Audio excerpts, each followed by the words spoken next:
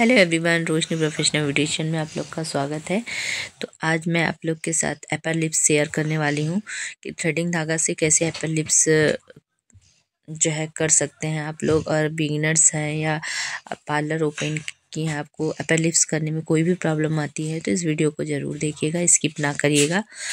तो चलिए पहले एप्पल लिप्स करने के पहले मैं पाउडर फिल करती हूँ ताकि हेयर्स जो है स्मूथ हो जाए और अच्छे से दिखाई दे।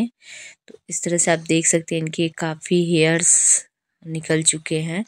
ये जैसा कि हमेशा करवाती हैं और काफ़ी हेयर्स टाइट और मतलब घने निकले हुए हैं।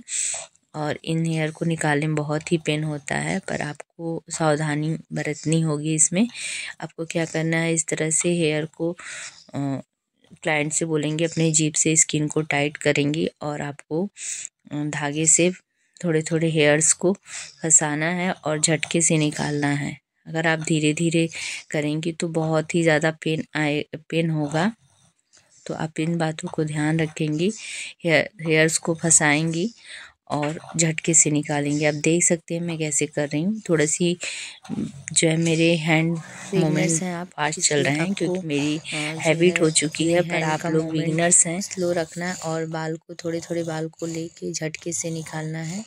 और इतने फास्ट धागे को नहीं चलाना है क्योंकि आपकी अगर हैबिट नहीं रहेगी तो स्किन में कट लगने की मतलब दिक्कत रहेगी।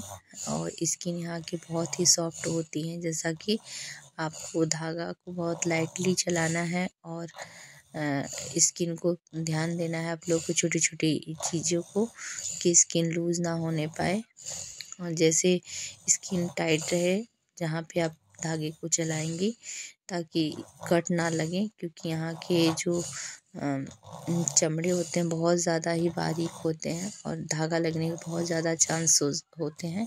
इसलिए आपको इन सब छोटी बातों को ध्यान ज़रूर दें। थ्रेडिंग मतलब एपर लिप्स करते वक्त और जैसे थ्रेडिंग करते हैं, उसी हिसाब से आपको करते जाना है और आपको देखना है हेयर की डायरेक्शन किस तरफ़ है और उसी के विपरीत दिशा डायरेक्शन में आपको हेयर्स को रिमूव करना है।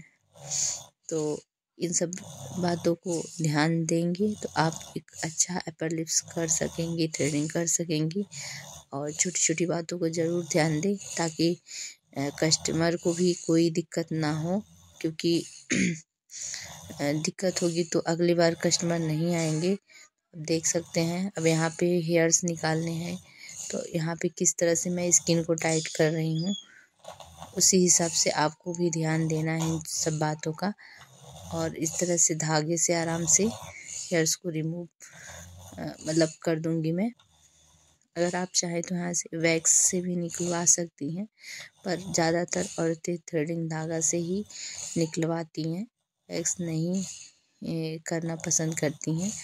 तो आप इन सब छोटी छोटी बातों को ध्यान में रख के आप आराम से अपर लिप्स करना सीख सकते हैं। और हमारा वीडियो आपको कैसा लगा, कमेंट में ज़रूर बताइएगा और ज़्यादा से ज़्यादा वीडियो को शेयर करिएगा, लाइक करिएगा और हमारे इंस्टाग्राम आईडी को भी फॉलो करिएगा।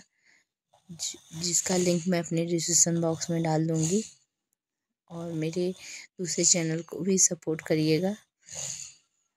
जिसका लिंक उसका भी मैं डिस्क्रिप्शन बॉक्स में डाल दूँगी। जिस पे मैं अपने ब्यूटी पार्लर से रिलेटिव जो चीज़ें हैं शेयर करती हूँ।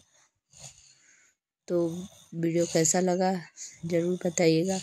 और लाइक शेयर एंड सब्सक्राइब करना ना भूलिएगा।